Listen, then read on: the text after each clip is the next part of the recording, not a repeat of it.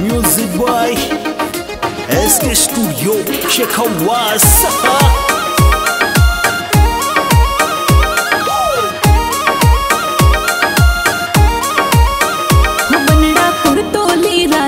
पगर म्या फाटोड़ी